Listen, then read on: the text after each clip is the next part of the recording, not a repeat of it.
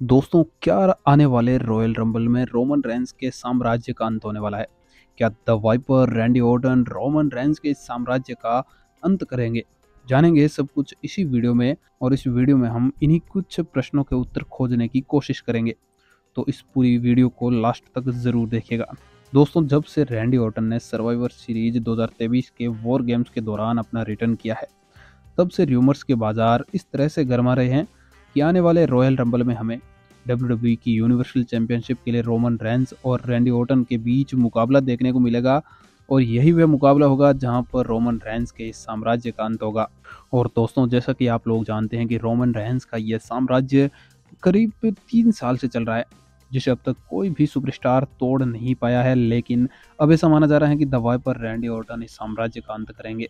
तो अब जान लेते हैं कि दोस्तों, रैंडी ऑर्टन और रोमन रेंस का आमना सामना होने की संभावना क्यों है, और क्यों ऐसे रूमर्स आ रहे हैं कि ये दोनों ही सुपरस्टार रॉयल रंबल के दौरान भिड़ते हुए नज़र आएँगे। दोस्तों, अगर इन दोनों की इतिहास की बात की जाए तो ये काफ़ी पुराना इतिहास रहा है। लेकिन हम बात करेंगे साल 2022 के दौरान।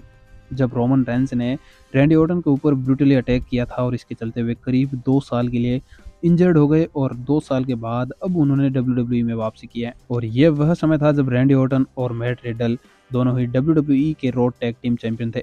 और ये चैंपियनशिप का मुकाबला है, ये दी ब्लड लाइन के अगेंस्ट हार जाते हैं।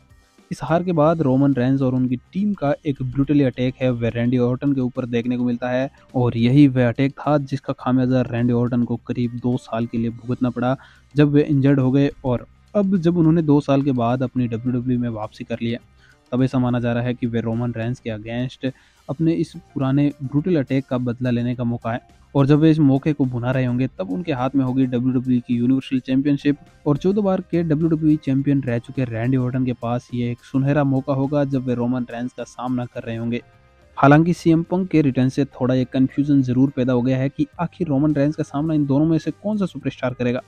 लेकिन यहाँ पर मेरे ओपिनियन के मुताबिक दोस्तों, अब ज़्यादा चांस रैंडी ऑर्टन के है कि वे रोमन रैंस के सामने आएँगे और रोमन रैंस को रॉयल रंबल में यूनिवर्सल चैंपियनशिप के लिए वे चैलेंज करते हुए नज़र आ सकते हैं। तो दोस्तों, आपके क्या है ओपिनियन इसके बारे में कमेंट बॉक्स में ज़रूर शेयर कीजिएगा। साथ ही वीडियो पसंद आए तो इसे लाइक और शेयर करने के साथ हमारे चैनल को सब्सक्राइब कर लीजिए। धन्यवाद।